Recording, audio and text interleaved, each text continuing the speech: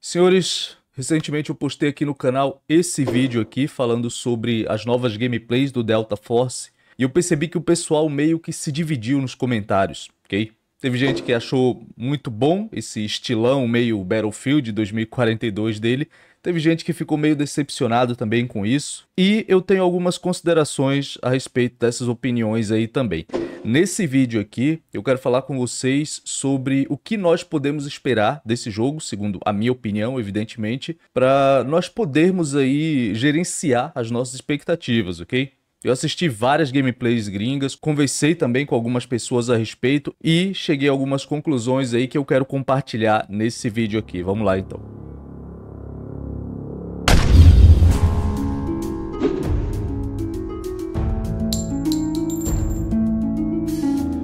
Ok, Beleza, guerreiros? Como sempre, satisfação enorme ter todos vocês por aqui.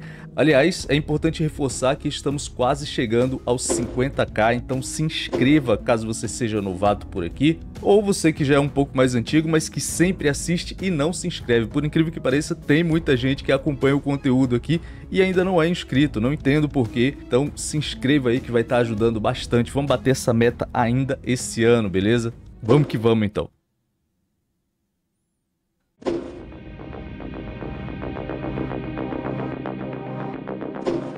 Então, senhores, para quem não lembra, Delta Force Hawk Ops, ele é um FPS tático, free to play, ele vai estar chegando aí para todas as plataformas, inclusive celulares, agora em 2024. Uh, ah, eu gosto sempre de dar essa contextualizada por aqui, porque muitas vezes o cara cai no vídeo e ele nem ouviu falar ainda sobre esse jogo. Então, se for o seu caso, eu recomendo também que você veja esse vídeo aqui, que lá eu vou estar explicando absolutamente tudo sobre esse game, beleza? Depois de assistir esse vídeo aqui, evidentemente, você vai lá.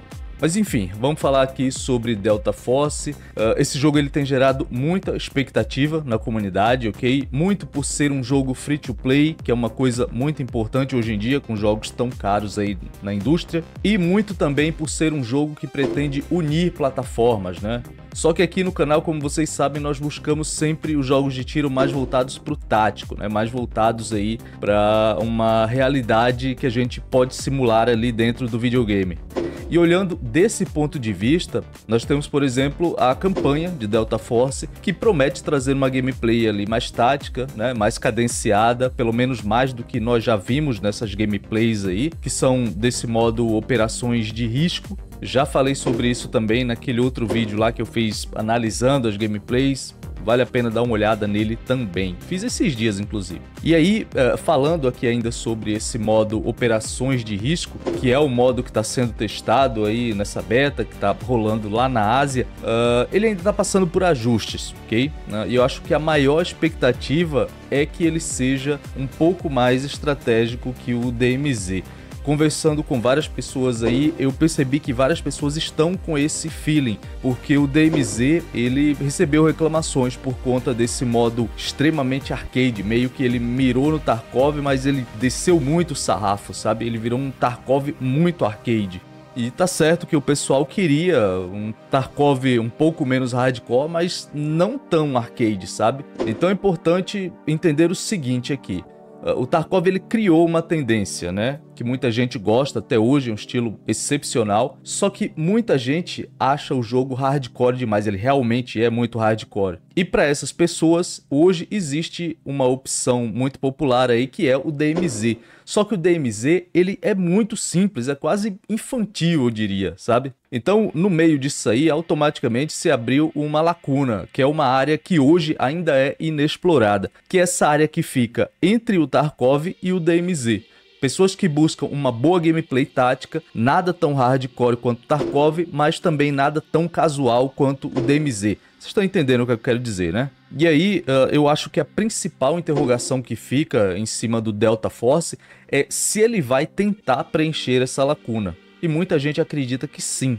Eu falei recentemente aqui de um outro jogo que está chegando forte agora em 2024, que é o Grey Zone Warfare, que é um outro jogo que pretende explorar aí essa fatia de mercado que fica aí entre o Tarkov e o DMZ. E como eu disse, ele está chegando muito forte. A diferença é claro que é uma IP nova, né? Não tem o mesmo peso de mercado que tem uma franquia como o Delta Force, que está chegando aí a seu décimo jogo e tem muita gente já ansiosa por isso, enfim.